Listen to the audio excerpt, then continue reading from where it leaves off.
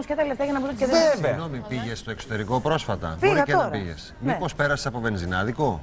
Κουρέστη. Όχι, δεν πέρασε. Είδες, για να δεις την τιμή της βενζίνης. Πόσο Εκεί στο εξωτερικό στην Ευρώπη είναι πιο κάτω από την Ελλάδα.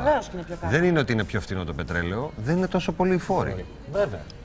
Δεν είναι δυνατόν δηλαδή με τους 1 τρίτο και πλέον 1 πέμπτο μισθό να πληρώνουμε πιο πολύ βενζίνη.